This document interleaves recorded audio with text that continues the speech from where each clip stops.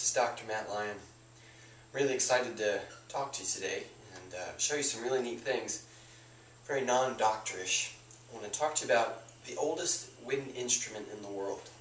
It's called the didgeridoo. It comes from Australia, and the Aboriginal peoples, the traditional indigenous people of Australia, who were there for tens of thousands of years, developed this instrument.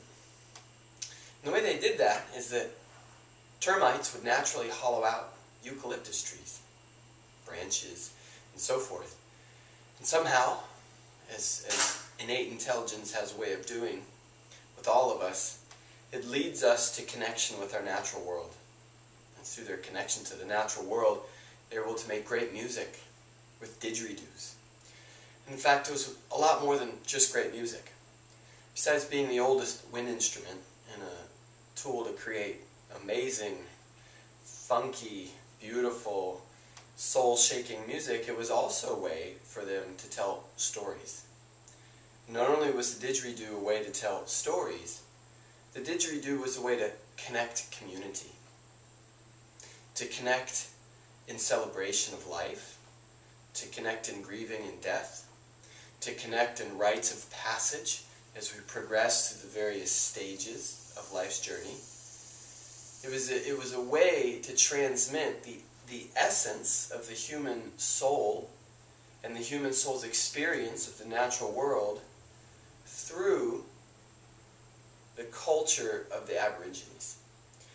So, a lot of the cultural aspects of the Aborigines, they're not as relevant to us today in the Western world, namely because we live in an industrialized society, and they didn't. However, the essence of the music, the essence of the instrument, the essence of the sound, which ultimately is this beautiful, primal, soulful, exquisite connection to the mystical, this exquisite connection to the natural world, this exquisite connection to the innate wisdom that imbibes and informs all things we see. This is, this is the relevance of the didgeridoo to us today. So beautiful is this instrument that's been used trans-genre, trans-genrely. I don't know if it's a word, but it is now. I've heard it in rock and roll. I've heard it in electronic music. I've heard it in the singing of traditional Indian devotional songs. I've heard it in jazz. I've heard it in, obviously, traditional Australian music, very non-traditional Australian music. This instrument connects us because it connects our hearts. And the heart's an organ that pumps blood. The heart's an organ that has its own extension of the human nervous system. But really, the heart is our mystical compass.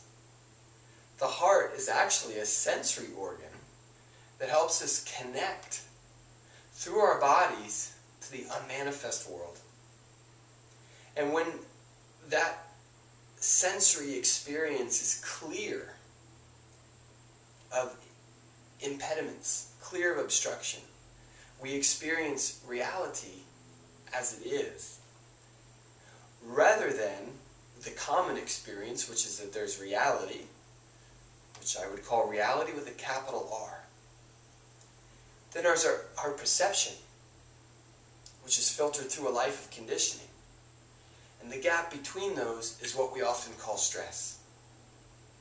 And the greater that gap is, the more difficult it is for this sensory apparatus of the heart to experience reality with a capital R and all of its splendor, grandeur, transcendence, and immanence.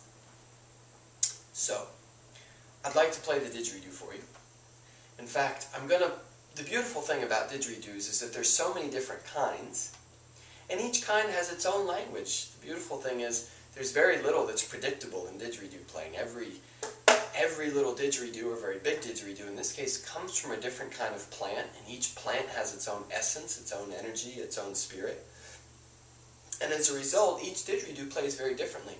And furthermore, we tend to classify didgeridoos not only based on the kind of tree or plant that they come from. For instance, they can come from eucalyptus. Modern didgeridoos can come from hemp. agave cactus, as is the case with this one, um, bamboo, and a number of other things. So we can classify them that way, but we can also classify them based on the note or tone of their sound. And in this case, I want to play for you an A didgeridoo because the A sound is very deep. And the A takes us deep into the embodied experience of our unconscious. And in our unconscious is the unmanifest world, that which we don't know about. That's why we call it unconscious. Most of our dreams come out of this, our habitual reactions to life and everything we perceive, our projections, all come out of the unconscious. One of my favorite scholars, writers, and philosophers of our time was Joseph Campbell. And he used to draw a big diagram of a circle. And about three quarters of the circle was cut by a line. Well, there was a line going through the circle, and three quarters of the circle below it was what he indicated as the unconscious. This top part is our conscious thinking apparatus through which we process the world through stories, through concepts, through maps, through models. The terrain underneath was the unconscious. The ego, which sits in this conscious part, was the part that's trying to understand and, and make sense of the unconscious and filter it through its lenses so that it can match that up with what it sees in its conscious world. But in the unconscious, there's so much gold.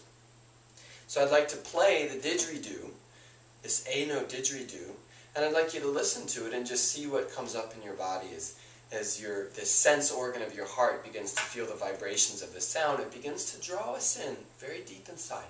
Very deep inside, not only into the unconscious, but into the caves of the heart, which the yogis of India have always described as emitting this field of waveforms that come out.